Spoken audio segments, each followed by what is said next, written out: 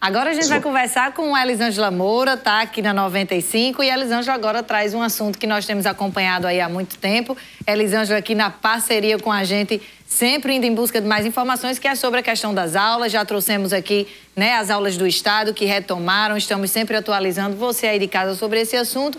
E temos ainda em busca também de informações, porque as pessoas têm pedido que é sobre o retorno das aulas presenciais em Mossoró, no município de Mossoró, né? A gente tinha aí uma previsão de retomar após a vacinação da equipe técnica, isso já aconteceu, o município não informou uma data até o momento e o Ministério Público está acompanhando, né, Lisângela? E pode, inclusive, aí ingressar com uma ação para obrigar esse retorno imediato, é isso? Bom dia.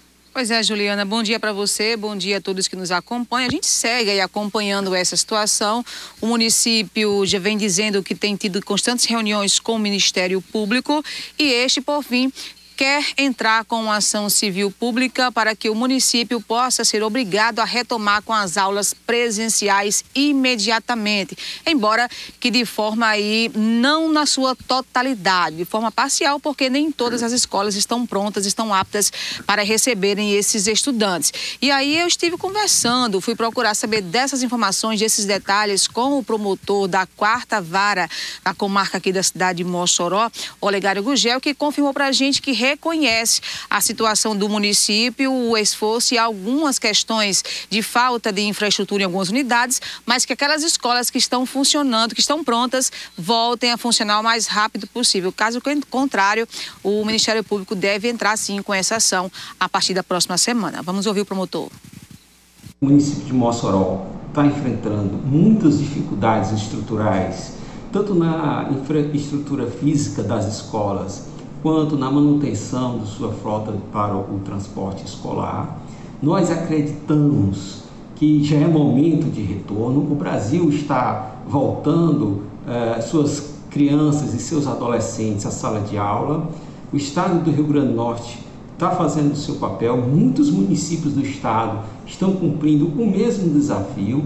Então, este é o momento de uh, Mossoró retomar as aulas e eh, diante da, do entendimento eh, do município de eh, retomar essas aulas apenas no ano letivo de 2022, né, nós entendemos que essa questão deve ser judicializada.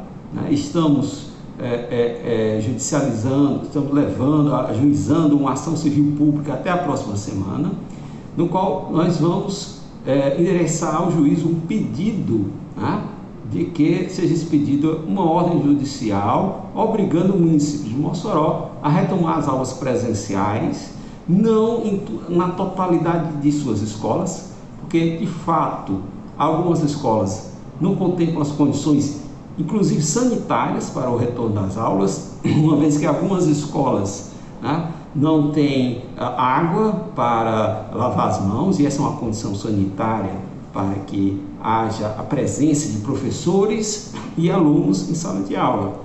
Mas, pelo menos metade da rede tem sim condições e, e o Ministério Público acredita que este é o momento, uma vez que a pandemia né, reduziu sua força Olha, Juliana, a gente segue acompanhando e creio que hoje ainda teremos novidades, uma vez que o município publicou um chamado urgente de 42 professores da educação infantil. A relação com esses 42 professores do processo seletivo simplificado de educação já consta aí no Jornal Oficial de Mossoró. Qualquer informação, a gente com certeza traz ao longo da programação, Juliana.